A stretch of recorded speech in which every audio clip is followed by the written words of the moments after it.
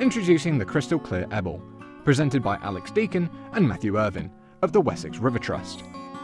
Join Alex and Matt as they explore the unique importance of the River Ebble and showcase why chalk streams are such rare and important habitats and how we can conserve them. So hopefully everybody can see me and can see the presentation that we've got up. So um, presentation is called Introducing the River Ebble. So thank you for joining us this evening. I'm Matthew Irvine, the Project Officer for the Rivers Avon and Stour. And joining me tonight, as Roland just mentioned, is my colleague and the Wessex Rivers Trust Catchment Coordinator, Alex Deacon. We hope this talk will increase your knowledge of chalk streams and add to your appreciation of our beautiful River Ebble. And later in the presentation, we'll also tell you how you can get involved. So, a little bit about the River Ebble. The River Ebble is a small, approximately 22 kilometre tributary of the Hampshire Avon. The river rises from springs at Berwick St John and flows east through the villages of Ebbesbourne Wake, Fifield Bavant, Broad Chalke, Bishopstone, Coombe Bissett, Homington, Odstock and Nunton, and joining the River Avon at Bodenham with the Longford, within the Longford estate. The river is split into two distinct sections. The ephemeral Winterbourne, which is a section above the cress beds at Broad Chalke. This section only flows when the aquifer levels are above a certain capacity. Due to this, this section of the river supports a unique ecology of flora and invertebrates adapted to extreme flow variations. Uh, the second section of the river is the perennial section below the cress beds at Broad Chalke, which flows all year round. The valley below Broad Chalke is generally broader with a wider floodplain historically dominated by water meadows. These have now been drained and mostly converted to pastoral agriculture. However, many maintain their ridge and furrow heritage. Um, and for those not familiar with the categorizations, an ephemeral or winterbourne stream, as the name suggests, is that part of the river that only flows a part of the year based on groundwater levels. And the perennial section is that part of the river that flows all year round um, the Ebble's perennial flow begins near Mount Sorrel, which is approximately the cress beds in Broad Chalke, um, where it is joined by the Chalke Valley stream, or I believe locally it's called the River Mead, which is a small perennial stream which contributes significantly to the flow of the Ebble throughout the year. So what makes the Ebble so special? Well, it's a globally rare chalk stream. In fact, one of only 160 in the UK, which actually make up 80% of the world's uh, chalk rivers total. Chalk streams are rare, biodiverse ecosystems supporting an array of wildlife. Chalke Valley is famous for its tranquility, rich cultural history, and also its wild brown trout fly fishing. The River Ebble is designated as one of the country's only wild fish protection zones in recognition of its natural trout population, meaning the Environment Agency do not allow any artificial stocking of the river from its source to its confluence with the River Avon. However, unlike most of the Avon's main tributaries, the Ebble is not designated as either a triple SI or an SAC, which is a, a site of special scientific interest or a special area of conservation, and so receives less legal um, or environmental protection and scrutiny as many nearby chalk streams. The Ebble Valley is, however, part of the Cranborne Chase AONB, and so the valley's landscape and natural heritage receive a degree of protection within the local planning system due to this. So what is a chalk stream? Well, chalk is a very porous form of limestone, which means that it is able to soak up and hold water, uh, much like a sponge. Water moves and percolates through the chalk in cracks called fissures to form and fill underground aquifers or reservoirs. And it can take anywhere between 20 to 40 years for the water to filter through these rocks. Uh, once full, the over overflow at ground level in the form of springs that form the chalk streams as we know them. Passage through the rock for water is relatively slow and it smooths out any irregularities in rainfall. And as a result, chalk streams tend to have a regular annual flow regime with a, relatively small difference between winter and summer flows, and very little in the way of spate conditions as, it, as they should receive very little surface runoff.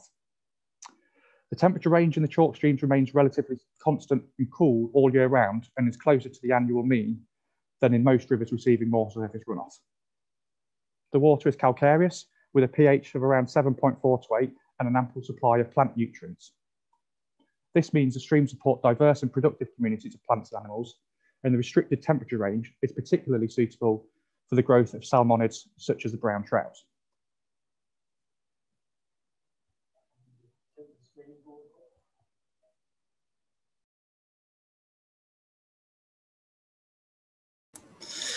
So, uh, what makes a healthy chalk stream. Um, one of the main things here is uh, it's in its most natural form, if you like, is the water's clean and pure, and uh, it's fed by very little surface runoff. So the flow coming out of that chalk aquifer uh, needs to be sufficient, so that once above ground, um, the flow should also be unobstructed. So due to their low gradients, even a, a small obstruction on a chalk stream, something like a weir or a sluice, um, can have quite a significant impact on the natural course of that stream. Um, one of the important things here to consider as well in a healthy chalk stream is the river channel itself and the floodplain shouldn't be viewed in, in separately, if you like. They're, they're, uh, a healthy chalk stream is a well-connected river and floodplain. They work uh, and interact together. So you typically would see a, um, the river channel gradually making its way to a, a, a, marginal bank full of emergent vegetation, which is known as the riparian zone, and then a, a low level floodplain with a, a diversity of uh, plants due to its seasonally wet nature. Um, but for this to happen, the river needs to have uh, room to thrive, as we call it, but it's, it's space within the floodplain to, uh, to, to, to, naturally move and migrate and, and do what rivers do. And that's, uh, that's one of the, sort of the key, key things there. So chalk streams in the news, this is something you, you may have come across over in the newspapers in recent years uh, and online. It's been quite a hot topic in terms of the river environment, um, and a lot has been said. So it's um, the, the reason for this is is because they're vulnerable and uh, they're also, as Matt said, they're, they're very rare habitats. They're globally rare, so they are under under threat from a number of different directions. And our current understanding is is a combination of, uh, of pollution, both urban and um, from rural areas as well, uh, unsustainable abstraction, um, and physical modifications by uh, by humans, both both past and present. And these have combined uh, have had quite a negative effect on these on these unique rivers. And often it's worth pointing out, often these these issues are often interacting. It's not just one um, having having the kind of overriding effect. They often um, work in you know in, together, if you like, to to have that negative impact. So where do these threats come from? So um, I think one of the main things is uh, is increasing populations, uh, particularly in the southeast of England, um, where many of the, the nation's chalk streams are found as well, and around the Thames catchment, for example, has resulted in an increase in abstraction for, for drinking water and uh, an increase in the amount of raw um, and also treated uh, effluent that is discharged into the rivers. Um, you know, we're very reliant on, on our groundwater supplies here. Um, uh, but uh, arguably, there's not been enough investment made over the years towards securing alternative water resources, such as reservoirs, things like that. Um, and also changes to land use, um, both the land itself, but also also the river has, has has changed over many years, and in some ways, in some areas, it's done been done very um, uh, you know, with, with very little regard for nature, if you like, and building directly on the floodplain in places that are either whether it's prone to flooding or also just in, some really, you know, important areas and habitats.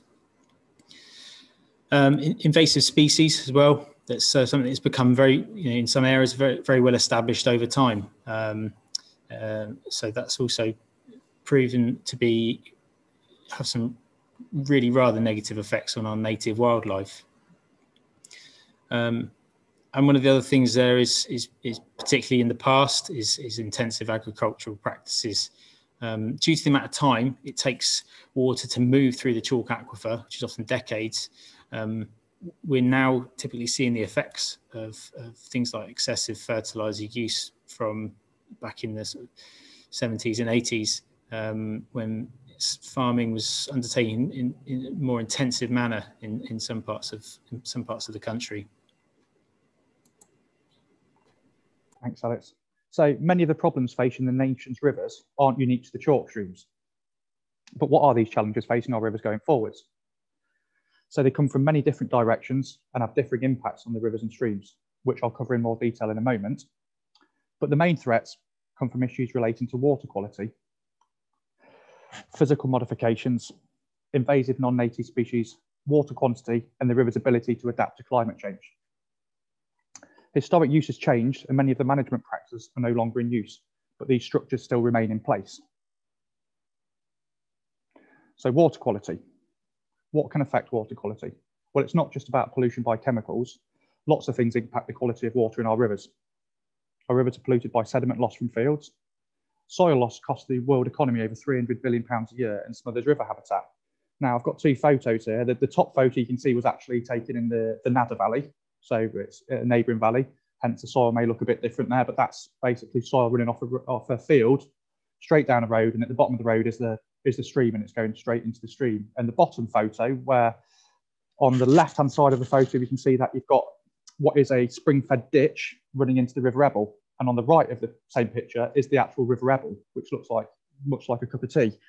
Um, and this was probably about six weeks ago after a, um, a heavy bout of rain. So um, we do get these, these problems in the Ebble Valley. Um, but also we've got the leg legacy effect of fertilisers um, from the increased uh, production drive 30 years ago. As Alex mentioned, these are now reaching our chalk streams. And each year, water companies discharge sewage into our rivers. In 2019 alone, there was 204,000 um, sewage discharges into UK rivers. This equates to 1.53 million hours of waste discharge into our into UK rivers each year. And to put that into context, there's, there's 8,000 hours in a year. So 1.53 million hours um, is a lot of rivers being pumped full of sewage the whole time. Um, I know that's not how it works, but just to put it into context, it's 1.53 million hours of waste discharges is quite significant. Fortunately, though, there's only one sewage treatment works on the Ebble, and the storm overflow didn't charge, didn't discharge at all that year. Um, so the Ebble doesn't take a great deal of untreated wastewater.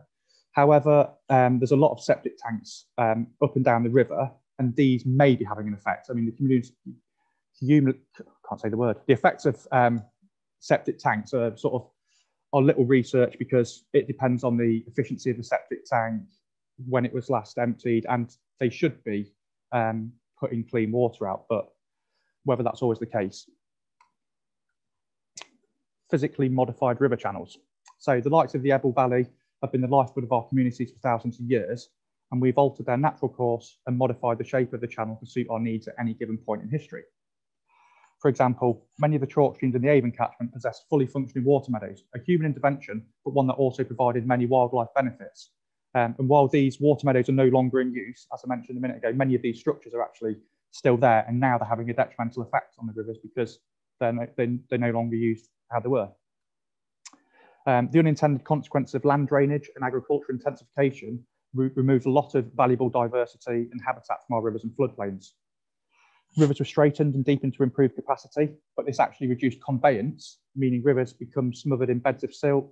Natural process uh, was reduced as a consequence, and habitat becomes a monoculture, leading to a decrease in biodiversity. Here's a useful diagram. Um, the top channel is a channel that's been, been dredged, and uh, we would call it um, a trapezoidal channel. So it's been it's been dug out to have as much capacity as possible. Um, but it, due to this, it has very little um, shape or diversity, um, and therefore it doesn't have those differing habitats that a, a river channel needs. The bottom picture is a much more diverse in many ways, offering refuge at both low and high flows and provides plenty of habitats for the many, many different species and life stages that rely on these habitat niches. And just because a river's shallower and not as, say, it doesn't look as big as the, the channel above, um, it will still take the same amount of water downstream because the channel at the bottom, because it's shallower, will flow faster than the channel at the top. So you, you're not necessarily achieving anything by adding additional capacity to a, to a river channel other than slowing the flow down and um, and uh, reducing the amount of available habitat. So there's there's many historic barriers um, and weirs still exist on our chalk streams and rivers, and um, the Ebble is, is is no exception. It um, there's there's a large weir just before its confluence with the River Avon. Um, but I think the, the thing to point out here is that both small and large barriers um, can cause a, a, wide range of issues, not just for migratory fish, like you can see in the in the image there, um, but also natural processes such as the natural flow of the water, but also things like sediment transport, which are actually you know, really important. Um, all species of fish, it's worth pointing out, need to be able to move uh, freely up and down our river systems to be able to complete their life cycles. Um, and so in-channel barriers can, can block migration. Um, and as a result of that, that can one thing it can do is, is stop fish reaching those those things like spawning grounds, but it can also reduce the um, the genetic mixing of fish populations, and it can isolate certain populations within the river. And uh, that means then if you have something like a pollution event, then you know those barriers can prevent other fish from from moving freely and, and recolonizing those reaches. Um, as I said, barriers also block natural processes, so removing um, the, the, gradient from a reach of river um, and, and, prevent tra sediment transport um, means that those those kind of typically shining beds of gravel that you see in our chalk streams can become quite smothered with silt, um, which is is clogs up all the, all the all the gaps between the between the gravel, which is which is where a lot of the insects um, live and, and, and, and young fish and things like that. So uh, again, within its own right, important piece of habitat. Um, and barriers also make the river uh, deeper, closer to that structure, and they remove the amount of habitat available, including some of that marginal vegetation. So this is a this is quite a, handy little diagram, which is it shows the impounding effects of, of in-channel barriers, weirs and sluices, etc. Um, as you can see from the diagram, downstream of that barrier, there's a there's a, a diversity of habitat, um, a bit like it was shown in, in Matt's previous slide, and this is reflected in the in the biodiversity of a, of a river. And then typically just upstream there in that impounded reach of a, a riverbed that is often smothered in silt and has a lot less variation in in, in the flow, and a sort of rather uniform sort of riverbed, um, and also just general channel shape, which provides much less habitat. So one of the other uh, pressures on our rivers, as we touched on, is, is invasive non-native species, which you might hear referred to as INS. Um, and they're generally termed species that have been introduced to the UK and have escaped into the wild where they're naturalized um, and have a, have a detrimental effect on, on our native wildlife. Um, and many species, or non-native species, occur across the UK. Um, but I think current understanding for the Ebble, the most prevalent ones are the Himalayan balsam, um, uh, signal crayfish, the American signal crayfish, I should say, and um, Japanese knotweed as well, and also the American mink. So you probably, a few of you will probably be quite familiar with some of these, um, but these these plant species um, that we find along our rivers tend to have been introduced historically by um, well, explorers a very long time ago, but more recently through through being sold at our garden centres and then making their way to people's gardens and then um, their invasive nature means they've spread. So things like Japanese knotweed actually we found out actually won a, a, gold medal in 1847 from the Society of Agriculture and Horticulture in Holland when it is officially recognised as uh, as being um, um, uh, basically one of the uh, a particularly good species for holding the ground together. Um, but uh, unfortunately, I don't think they realised the, the, the impact it would have on, on people's houses, but also uh, also rivers and their, and their wildlife. Um, but one that's probably more familiar with is, is Himalayan balsam, which admittedly can look um, rather rather pretty and quite nice on um, our river, river banks and gardens, and provides a source of pollen for bees. Um, but it spreads particularly uh, particularly effectively along our watercourses, and um, and it's uh, well, it can dominate riverbanks. It grows very, very quickly indeed. And the problem is, is it outcompetes a lot of our uh, native species um, of flora and takes over the riverbanks. Um, it's an annual plant that grows very fast and is shallow rooted. So what that means is that at the end of each growing season, where it has outcompeted those native vegetation, um, the riverbanks are left bare, which leaves the bank very prone to erosion. And uh, some of the uh, other non-natives we see in the catchment. Um, again, you may have come across these in, in the, in the Ebble Valley or elsewhere in the Avon catchment. Um, the top one there is the American mink, which is uh, a mustelid and shouldn't be confused with our native uh, polecat or the otter. Um, and has had a, quite a devastating effect on our on our wildlife populations in places. Again, originally uh, brought over here as a, as a captive animal, but for the for the fur trade, and uh, some escaped but many were internationally, uh, sorry, intentionally um, released by animal rights activists and some of you may be aware there's a, a release of, of, mink in the 90s, I believe, from a, a mink farm on the Lower Avon, which um, has had quite a detrimental impact on the on the Avon water vole population. Um, and then down below there's the is the American signal crayfish. Um, these uh, these are also brought over from from the states as a source of food, and um, many were just thrown into rivers to be harvested at a later date. Um, uh, these these uh, signal crayfish are a lot more um, aggressive and, and, larger than our native white claw crayfish, and again um, they they outcompete um, our, our, the native crayfish. But the American crayfish also carry disease, which has had a, a, a again a really big impact on on the native on the native species, um, and has and has virtually wiped wiped the native species out from a lot of our rivers, and possibly also also the ebble. Um, so yeah, it's a, a very effective uh, predator. It can also eat things like fish eggs. So it provide it, it's a it's a it's a it's a real pest. Um, uh, it can travel over land, get over weirs, and it can burrow, burrow, into the, the banks of the river, which again, a bit like the balsam, can increase uh, increase the erosion of the of the channel.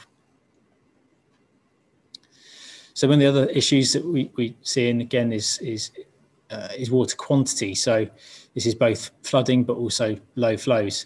Um, it's it's not just about unsustainable abstraction either.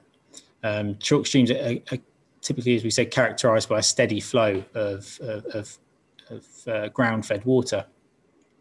So climate change can make these fluctuations um, basically more extreme and, and more frequent um, as we get more and more um, uh, volatile weather conditions as we've seen over the last uh, few years.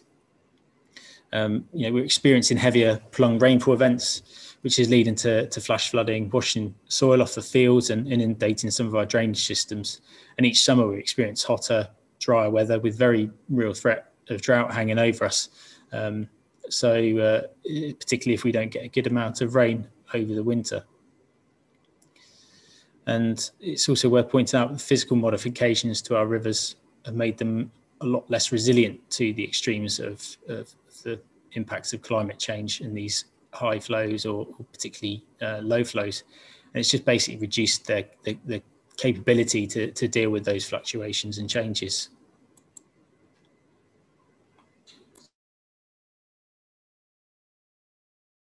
Sorry, I was on mute for a moment there. Um, how does this all link to the Ebble? Um, well, the Ebble has been uh, subjected to significant human modification, both historic and recent. The valley itself was shaped during the last glacial period, when the underlying chalk was frozen, less permeable, and subject to much higher rates of erosion. In the subsequent interglacial period, the thawed and now permeable chalk gave rise to a relatively stable ground-fed flow, creating a wet marshland through the valley bottom. And this was cut with a complex network of an, an anastomosing or braided, braided rivulets. It was first modified by humans in pre-Roman times, but more intensively during the medieval period, the valley was formalised into a larger main channel with minor carriers, leats and feeds, diverting water for milling and water meadow agriculture. Eventually, these water meadows would also be drained to accommodate modern agricultural practices and the burgeoning settlements and associated in infrastructure along the valley bottom. And today, what is the river like? Well, the ecology of the Ebble faces a number of challenges, including the impacts of both historic and modern land use as well as more widespread systematic threats such as biodiversity decline and climate change. Marginal biodiversity is significantly limited in some places by channel modifications, intensive management and or intensive grazing. We are fortunate that many of the landowners and farmers in the Ebble Valley have a much more sympathetic outlook on managing their land with nature in mind. However, we are still suffering the legacy effects of the drive to produce more food 30 to 40 years ago, but also today fine sediment runoff from agriculture and hard surfaces is impacting the water quality um, via increased nutrient loads and affecting pollution-sensitive invertebrate species and degrading important spawning habitat for trout and other gravel spawning fish. Tree cover is sparse in some reaches, potentially impacting water temperature and dissolved oxygen levels during hot and dry periods, limiting the river's resilience to climate change.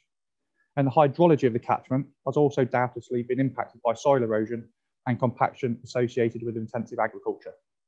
Fortunately, there are sections of the Ebble that are in very good condition, less impacted by runoff, more sensitively managed, and rich with biodiverse margins. And these reaches can serve as a template, highlighting the fantastic potential the Ebble has as an archetypal small chalk stream.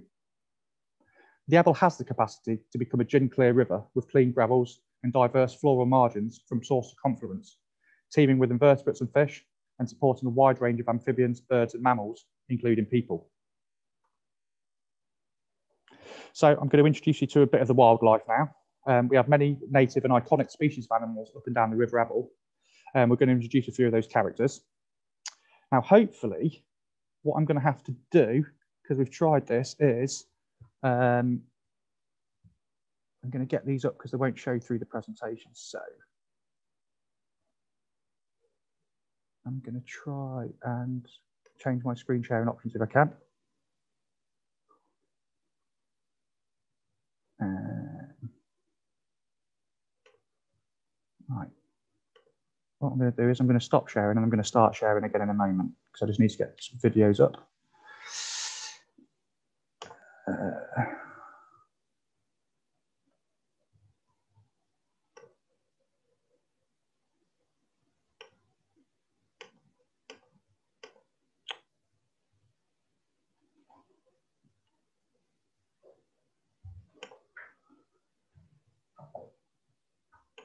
hold on. I don't know I can get these.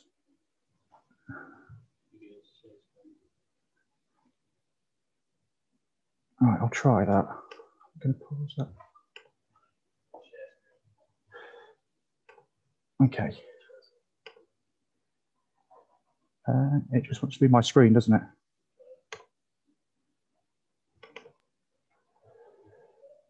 Uh, nope.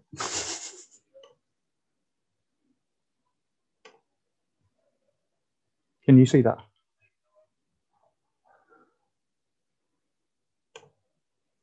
Okay, they don't seem to be working. So um, yeah, we can, we'll try and share the videos with the presentation afterwards. Um, unfortunately. Um, and are you now all just seeing the presentation or have you got my notes up as well?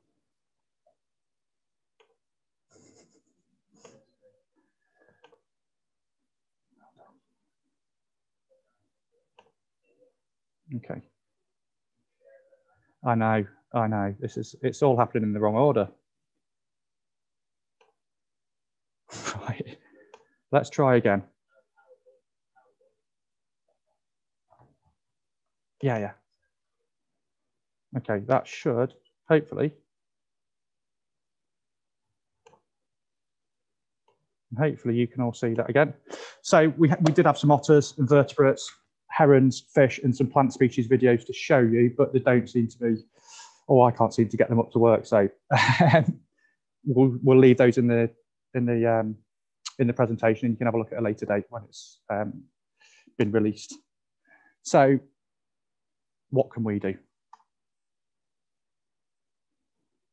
I'm just going to hand over to Alex. So, the Crystal Clear Ebble project, like um, like Roland touched on, it's a it's a it's a heritage lottery funded project, and it's part of this larger Cranborne Chase Chalk and Chalke Valley Landscape Partnership.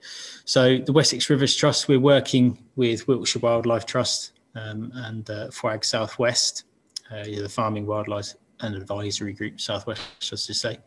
Um, and the Crystal Clear is ultimately aimed at improving um, both our understanding of the river, but also trying to figure out what it is that we can do collectively to make it a, a healthier, a healthier chalk stream. So when is it happening? Well, basically it's kicking off now and it's running for the next three and a half uh, years. Um, and uh, obviously, unfortunately, it's it's a difficult time to be starting to try and, and kick off a project which is we'd like to get you all in, involved in um, with the current restrictions in place. But obviously, hopefully, in the next couple of months, we'll have some opportunities for that um, and we can we can really you know meet some meet some faces on on the on the riverbank. So to achieve this plan, uh, we're going to carry out a series of ecological surveys to understand the health of the river and, uh, and, and, create uh, an up-to-date baseline um, of data. So one of the things we've noticed here when we're looking into seeing what data was available for the river, um, there was there was there's quite a lot available that's been collected over the years. But as some of you may be aware, as, as, as the government funding has, has decreased for um, the environmental agency, um, uh, we've been un- unable to basically fund the same frequency of monitoring. So there hasn't actually been a lot of monitoring done over the last few years, um, which means one of the key things here is, is getting out there and carrying out some surveys to find out where we are and, and what the current status is. So we want to, like I said, work with, um, with, with landowners and local volunteers to, to train you in some of these surveys, and then we can start to replicate them um, year on year. And ultimately, with that data in place, that can inform decision making process and what actions we need to take. And one of the things also worth pointing out is we're going to be doing um, some some education programs with the local schools as well, because um, you know, we've got a, good opportunity here to to um, engage with the younger generation and and um, and get them hopefully spark their interest um, for for looking after this river in uh, in future years. So, how can you get involved? Well, do you have an interest in wildlife, conservation, and our chalk streams? There are a number of different ways you can help protect and enhance the Ebble through our project. So, through surveys and volunteering, um, you can help us to improve our understanding of the Ebble wildlife, as that's going to be key to informing any decisions or ideas we have uh, going forward. So, what actions need to be taken on the ground? Um, we would love to hear from you if you'd like to get involved um, and we'll offer free training and practical advice um, around the river. Um, we're also offering free training to volunteers and river wardens.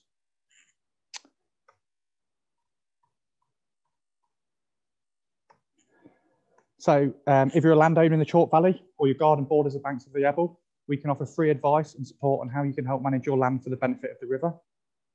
Um, currently, we are able, we are unable to get out on the bank and work with volunteers in any sort of groups, obviously due to the to the current climate. But based on current government roadmap, we'll be able to get out there with you in May. So we will be releasing a few dates for training very soon. Um, in the meantime, we are working on a few ideas that will enable volunteers to get involved remotely. Um, so just keep your eyes um, peeled for how we can do that. And that's, that's the end of our presentation. Thank you to Alex Deacon and Matt Irvine for presenting this talk as part of the Spring Talk series, hosted by the Chase and Chalke Landscape Partnership Scheme. Thank you to our partners and funders for this talk. The Chase and Chalke Landscape Partnership is a group of organisations working together to protect and enhance the special landscape of Cranborne Chase and the Chalke Valley. With Cranborne Chase AONB as the lead partner, and with support from the National Lottery Heritage Fund, this five year partnership is working with local communities to better connect people with the landscape. For more information, please visit www.cranbornechase.org.uk.